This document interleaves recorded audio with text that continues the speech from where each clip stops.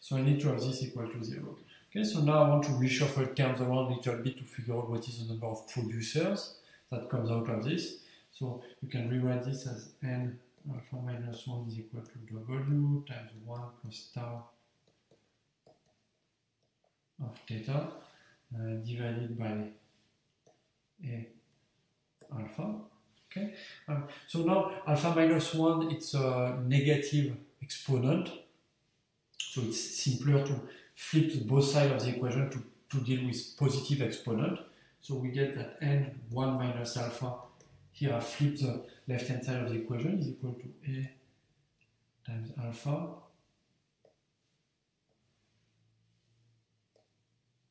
divided by w times 1 plus tau of theta.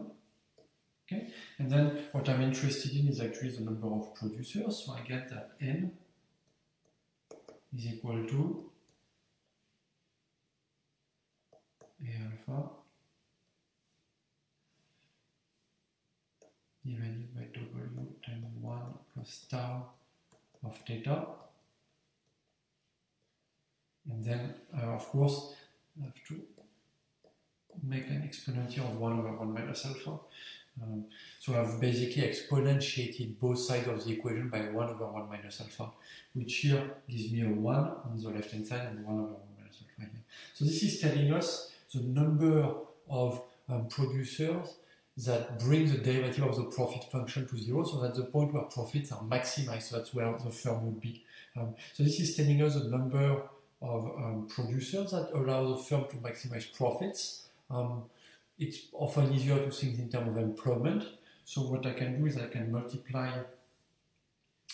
uh, the right hand side and the left hand side. So here I can multiply this by I can multiply this by 1 plus tau of theta. And I can also multiply this by 1 plus tau of theta. Okay, so I'm allowed to do that. Uh, so what do I get? Uh, so here I've just multiplied both sides by this. So 1 plus tau theta times n, that's just L, the number of workers that are employed by the firm.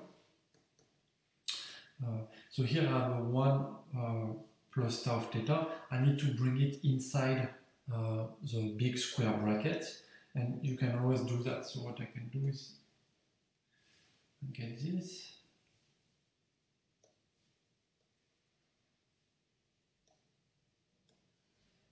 exponent here is not going to change, 1 over 1 minus alpha.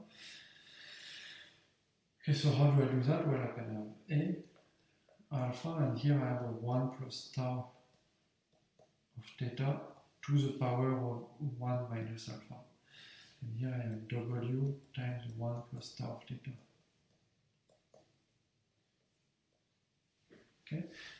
So how do I how do I do that? Well, it's because um, once you take that 1 plus tau of theta to the power of 1 minus alpha out, you have to exponentiate it by 1 over 1 minus alpha, and that will just give you a 1 plus tau of theta. So I did that just to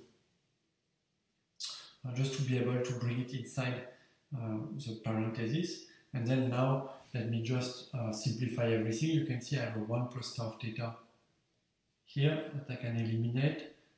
Can just eliminate the 1 here. I, I eliminate the 1 plus tau theta in the numerator and in the denominator. Okay, and then once you do that, you can rewrite L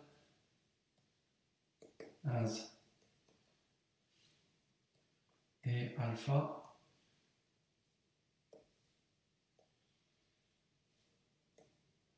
one over one minus alpha here.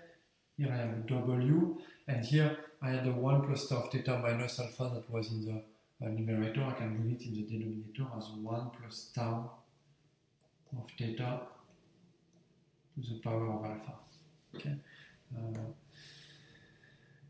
all right, so that was a bit of work, but now at long last, I have uh, I have the number of uh, workers that the firm wants to hire. Okay, so I have my labor demand.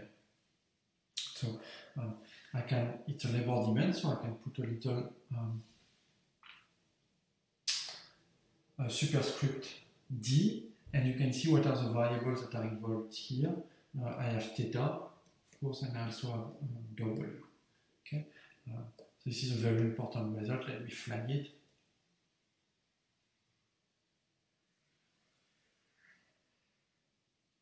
Okay, so this is a uh, really important result that we have. That's the expression for the labor demand.